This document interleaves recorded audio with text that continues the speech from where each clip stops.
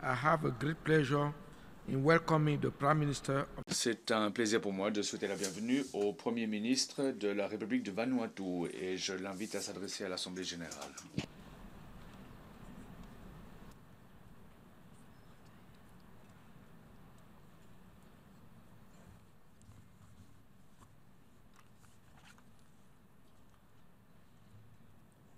Your Excellency, President of the 70th Excellence, euh, président de la 70e session de l'Assemblée générale des Nations unies, Excellence, Monsieur Ban Ki-moon, secrétaire général des Nations unies, Excellence, chef d'État, de gouvernement et de délégation, Mesdames et Messieurs. Monsieur le Président, Vanuatu est honoré de se joindre à d'autres éminents orateurs qui ont pris la parole avant moi pour vous féliciter de votre accession à la présidence de la 70e session de l'Assemblée générale. Soyez assurés du plein appui de ma délégation.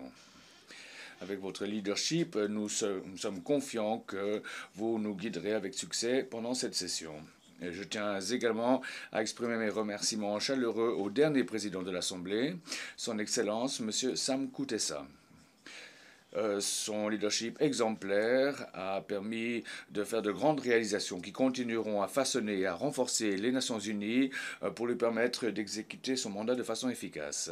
Monsieur le Président, Aujourd'hui, nous, nous réunissons à une croisée des chemins critiques de l'histoire qui nous présente une occasion unique de changer de façon positive les vies de millions de personnes à travers le monde, en particulier les plus désavantagées.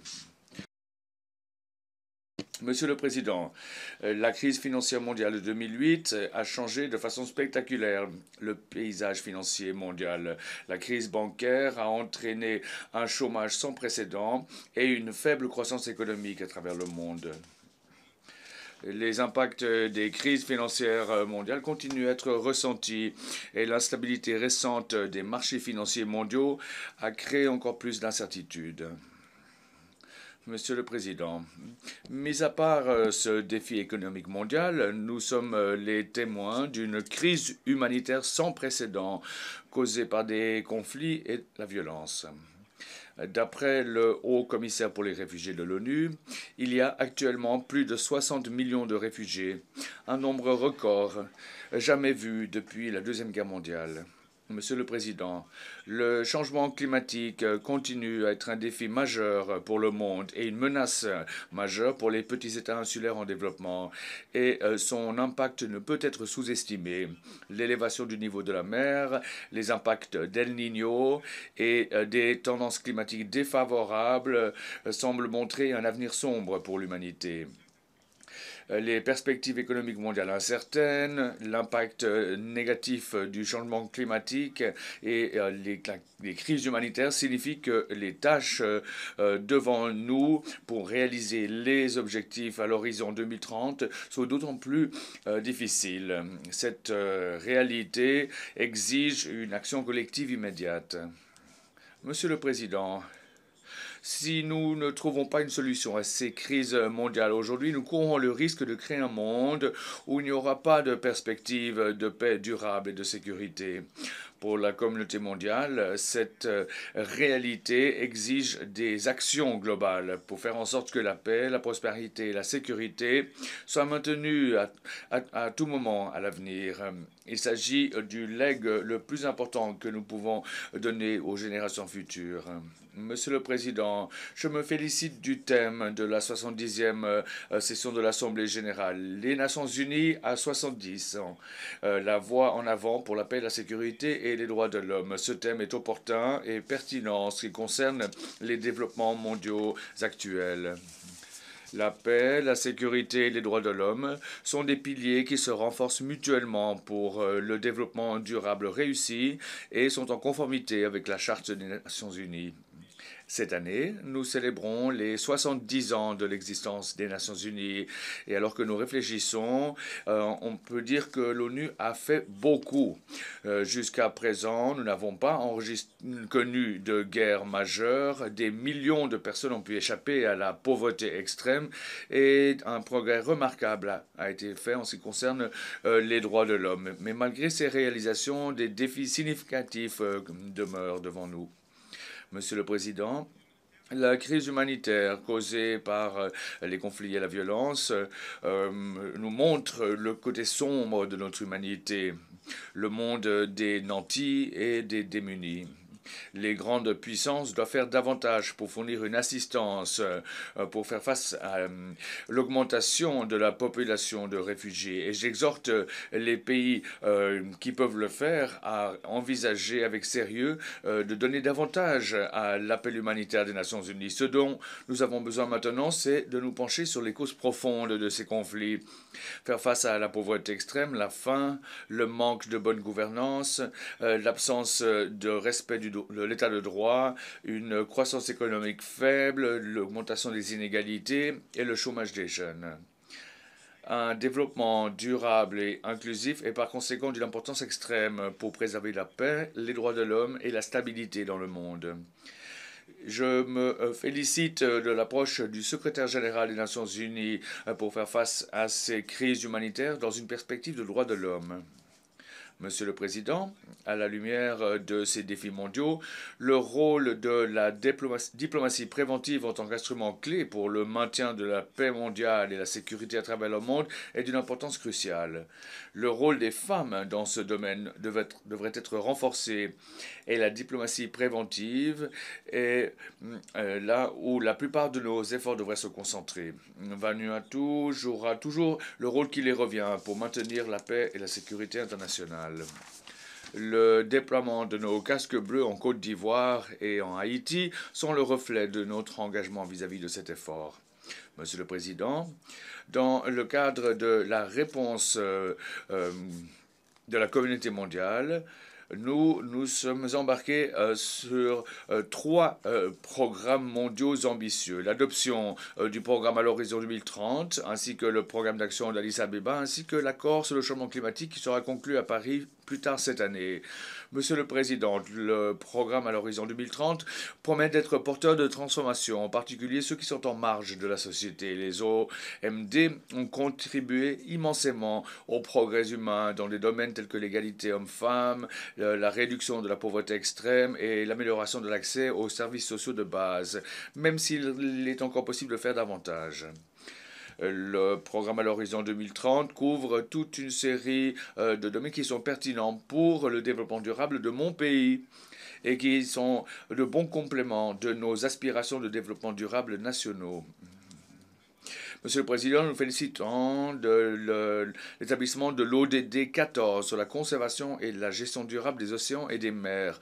Pendant trop longtemps, nous avons observé le déclin de la santé des océans et de la mer, notamment la mort du corail, la pollution marine, les dommages aux écosystèmes costaux côtier, pardon, euh, le déclin des euh, stocks de poissons et l'acidification des océans. Nous reconnaissons qu'il est nécessaire d'avoir un cadre dans lequel la mise en œuvre de l'ODD 14 pourra être évaluée progressivement, qu'on établisse des jalons et qu'on le fasse avancer pendant toute la durée du programme à l'horizon 2030 pour le développement durable.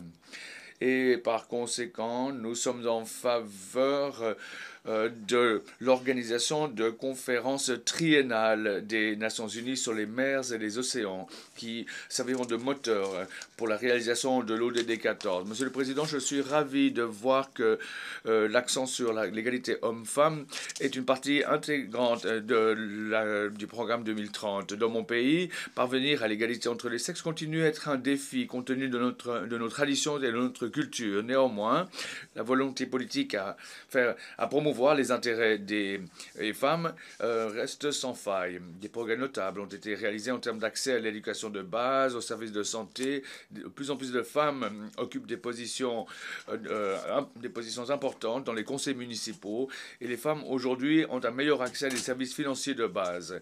En tant que dirigeant de mon pays, j'aimerais voir des progrès tangibles pour ce qui est de la promotion des femmes et des filles et leur participation active dans le leadership national. Ces progrès pourraient être accéléré si davantage de ressources financières étaient canalisées pour aider mon gouvernement à faire avancer l'égalité entre les hommes et les femmes et l'autonomisation des femmes. Monsieur le Président, le succès du programme à l'horizon 2030 dépendra de l'accès à des ressources financières abordables l'accès aux technologies appropriées et l'amélioration substantielle des capacités nationales. En ce qui concerne l'accès aux ressources financières, Euh, le programme d'action d'Addis Abeba, récemment adopté, a repris la plupart de ces questions. Il est maintenant important que nous mettions en œuvre rapidement ce programme. Je me joins à d'autres dirigeants du monde qui ont demandé à tous les pays développés d'honorer leurs engagements en termes d'APD, tels que convenus dans le consensus de Monterrey et la déclaration de Doha.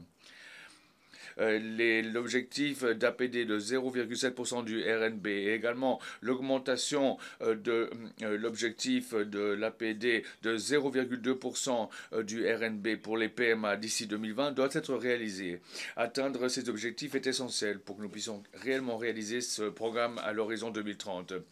Des initiatives de financement pour le développement par le biais de coopération Sud-Sud sont complémentaires et continueront à, rester essentielles. Et à cet égard, j'aimerais saisir cette occasion pour remercier le président de la Chine, son Excellence M. Xi Jinping, pour son annonce récente lors du sommet sur le développement que la Chine va euh, fournir 2 milliards de dollars euh, euh, supplémentaires, 2 milliards de dollars aux pays en développement. Ce genre de gestes et de bonne volonté euh, sont la preuve d'action réelle et de véritables partenariats. Monsieur le Président, l'accès aux technologies est également essentiel pour parvenir au développement durable. Je me félicite de l'initiative des pays les moins avancés d'établir une banque technologique à Istanbul. Mon gouvernement aimerait que cette initiative euh, se concrétise rapidement dans le domaine de la technologie et en particulier le développement des TIC. Vanuatu a fait des progrès euh, formidables ces dernières années.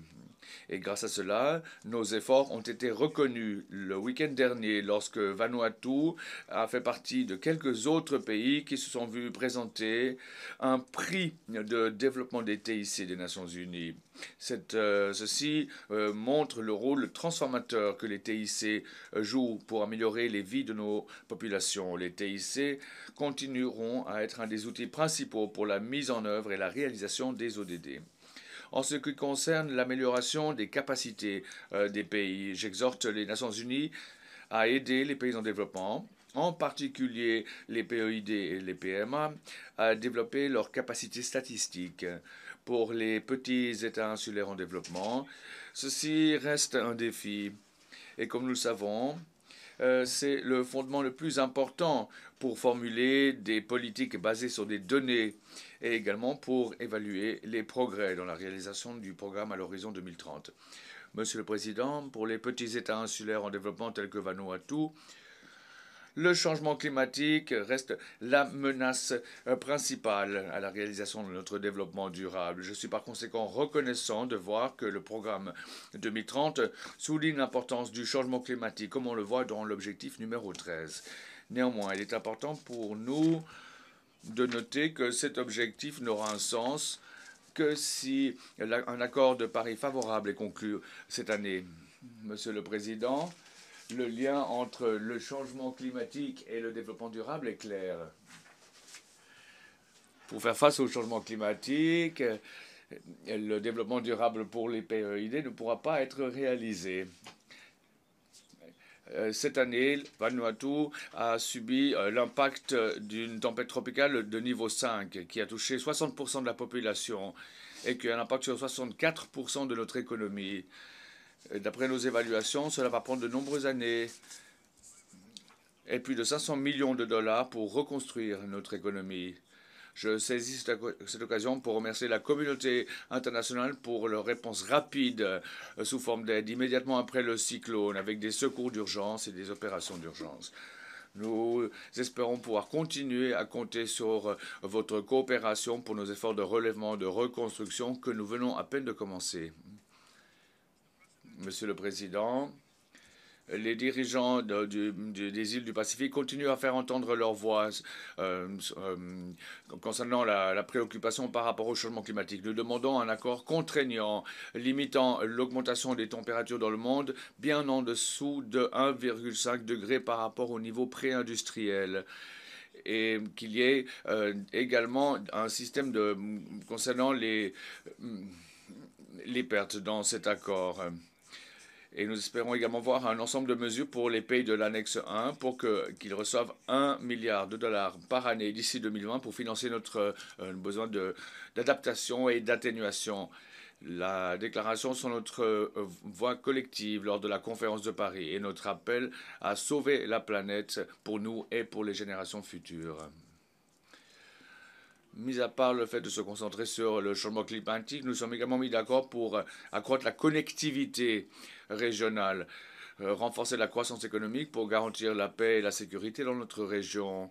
Toutes ces initiatives sont en conformité avec le programme à l'horizon 2030 les relations entre les Nations Unies et les organisations basées dans le Pacifique sont essentielles pour mettre en œuvre ce programme 2030 et la voie de Samoa. L'adoption récente de la résolution de l'Assemblée générale sur les relations entre le secrétariat du Forum des îles du Pacifique et les Nations Unies est bienvenue. Cette euh, coopération doit maintenant se traduire par des actions concrètes. Monsieur le Président, ma délégation souhaite rappeler aux Nations Unies de ne pas perdre de vue les questions de décolonisation à la lumière de défis émergents que nous devons examiner collectivement. Vanuatu demande à la famille des Nations Unies à se concentrer aussi sur les voies et moyens pour euh, trouver une solution à ces questions qui n'ont que trop duré. Euh, les membres euh, de l'ONU doivent se rapprocher de leur objectif de la décolonisation. Le droit à l'autodétermination a été une lutte pour, depuis de nombreuses générations. Nombre de personnes ont perdu leur vie dans ce processus. Euh, ils rêvent qu'un jour, les Nations Unies et toutes les nations plaidant pour les principes démocratiques qui sont toujours à l'état de rêve, euh, ces personnes espèrent que leurs voix seront entendues et que leur droit à l'autodétermination sera réalisé. Monsieur le Président, l'ONU doit poursuivre le travail euh, du comité sur la décolonisation pour euh, qu'il y ait un dialogue significatif, notamment pour la Nouvelle-Calédonie. Nous remercions le gouvernement de la France pour leur coopération pour faire avancer ce processus de décolonisation. Et dans le cadre de cet effort important, il faut que toutes les parties maintiennent le dialogue et veillent à ce que toutes les questions soient examinées.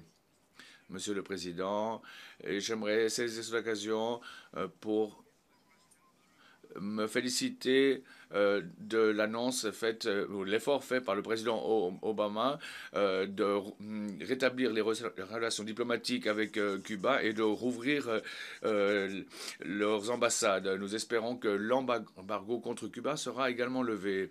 Monsieur le Président, comme d'autres petits États du Pacifique, euh, Vanuatu est une économie ouverte, petite et vulnérable. Son ouverture et sa petite taille signifient qu'elle est très vulnérable aux chocs extérieurs.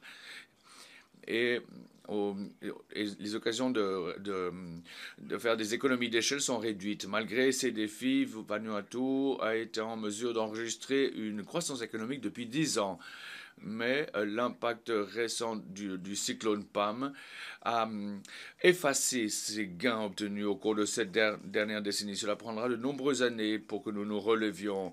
Et dans le cadre de nos efforts, hum, euh, et, les, efforts pour parvenir au développement durable euh, sont difficiles mon gouvernement a récemment demandé à l'ONU euh, d'envisager euh, de, reporter notre reclassement euh, de la catégorie des pays les moins avancés pendant quelques années. Cela nous permettrait d'avoir le temps de nous relever après ce cyclone et de reconstruire notre économie. J'exhorte les membres de l'ONU à appuyer notre résolution en la matière lors de la 70e session de l'Assemblée générale. Monsieur le Président, mon gouvernement et mon peuple vont œuvrer pour mobiliser les ressources nationales et pour faire en sorte que nos capacités institutionnelles euh, soient basées sur ce nouveau programme de développement. Comme d'autres pays en développement, nous reconnaissons que nous ne pouvons pas parvenir euh, au développement durable à nous seuls et par conséquent, nous demandons à la communauté mondiale à nous aider pour parvenir à cet objectif. Monsieur le Président, mon gouvernement est convaincu que euh, la tension actuelle entre la liberté en mer et les revendications territoriales, comme on peut le constater dans le cadre de la Convention sur le droit de la mer, et dans le cadre d'autres conventions, euh, tout ceci euh, est, un problème. Je pense également que les États doivent être prêts à continuer à coopérer, à trouver des solutions pacifiques à tout différents qui pourraient apparaître. Les îles Mathieu et Hana au sud de Vanuatu ont toujours été une source de patrimoine culturel bien avant l'ère coloniale. Et comme les 83 autres îles, les personnes utilisent la liberté de déplacement en mer pour pouvoir visiter ces euh, sites culturels. Cela fait maintenant longtemps que euh, mon peuple s'est vu dénier ce droit. Monsieur le Président, Permettez-moi euh, de remercier et de féliciter les Nations Unies et la République française d'avoir fait preuve de leur souhait de dialoguer et d'avoir euh, également permis à notre peuple de se rendre dans ces îles pour euh, des, rites culturels. Euh, la France a également promu les droits des peuples autochtones dans la région et à travers le monde. Et je tiens à dire que Vanuatu a, a été déclarée zone marine et culturelle protégée. Des visites culturelles pourront être faites pour revitaliser nos systèmes autochtones et culturelle. J'aimerais également dire officiellement que le gouvernement de Vanuatu a l'intention de renforcer ses liens avec le gouvernement français dans des efforts de collaboration pour veiller à ce que nos océans euh, soient débarrassés de la piraterie, du terrorisme et de la pêche illégale. En conclusion, Monsieur le Président, les défis mondiaux auxquels nous sommes confrontés sont immenses. Euh, les incertitudes économiques mondiales, l'impact du changement climatique euh, et les crises humanitaires sans précédent nous rappellent que nous devons réfléchir différemment et adopter des approches novatrices pour résoudre ces euh, euh, problèmes. Nous devons euh, nous écarter des pratiques habituelles. Et ceci est particulièrement important pour mettre en œuvre le programme 2030 ambitieux, le programme d'action d'Addis Abeba et l'accord sur le changement climatique qui sera bientôt adopté à Paris. Nous avons besoin de partenariats renouvelés en termes de coopération internationale, de sagesse collective pour relever ces défis. Monsieur le Président, lorsque nous ouvrons deux concerts, il n'y a pas de limite à ce que nous pouvons faire. Merci. On behalf of the General Assembly, Au nom de l'Assemblée générale, je remercie le Premier ministre de la République du Vanuatu pour l'allocution qui vient d'être prononcée et